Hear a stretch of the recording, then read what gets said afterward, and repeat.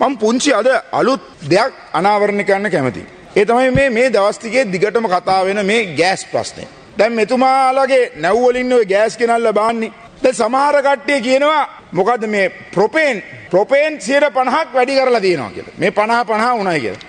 මට තේරුම් ගන්න බෑගරු මුලසුන ඔබන මන්ත්‍රතුමනි ප්‍රොපේන් ඩොලර් 40ක් විතර වැඩි.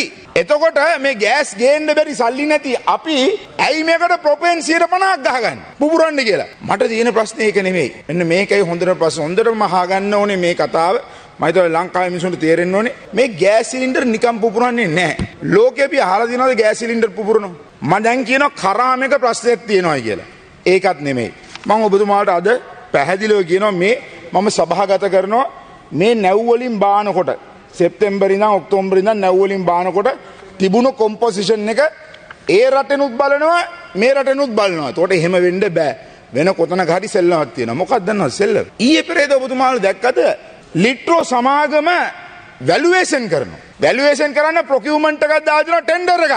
එතකොට එක පැත්තකින් ලිට්‍රෝ එක විකුණන්න සෙට් වෙනවා. අනිත් පැත්තෙන් ඩිමාන්ඩ් එක අඩු කරගන්න පුපුරනවා අයියා. කොයි මිනිස්සු දරවලට යන්න හදන ඉලෙක්ට්‍රික් වලින් වෙන්න පුළුවන් සල්ලි තියෙන මිනිස්සු ඉලෙක්ට්‍රික් වලින් වෙනවා ගෑස් වලට තියෙන ඉල්ලුම අඩු වෙනවා සල්ලි ගෙවන්න තියෙන ප්‍රමාණය ඒ තරම්ම යන්නේ නැහැ එතකොට ආණ්ඩුවට පොඩි chance එකක් එනවා. ඊට වඩා ලොකුම එක තමයි ලිට්‍රෝ එක ලාභ ලැබපු සමාගමක්. වැලුවේෂන් කරන්නේ මේ හදිස්සියේ මොන බම්බුවටද? එතකොට ලිට්‍රෝ එක විකුණන්න පාරක් කපන්න ද මේ අපේ අහිංසක මිනිසුන්ගේ ගෙවල් වල සිලින්ඩර් පුපුරන්නේ. හිතලා බලන්න. මේක වෙනවම පැත්තා. මේ ඔක්කොම තාක්ෂණික දේවල් ගැන කතා කරනවා නෑ. මේ මේ ජීවිතත් එක්ක සෙල්ලම් කරන්නේ. මම මම හැමදාම කිව්වේ පාස්කුත් එක්ක සෙල්ලම් කරලා ආණ්ඩු ගත්ත මිනිසුන්ට මේ ගෑස් සිලින්ඩරයක් පුපුරන එක මහ ලොකු දෙයක්. මහ ලොකු දෙයක්. ඔබටත් මෙවැනි අලුත්ම වීඩියෝ දැකගන්න අවශ්‍ය නම් වසවිස අපගේ YouTube නාලිකාව සබස්ක්‍රයිබ් කරන්න.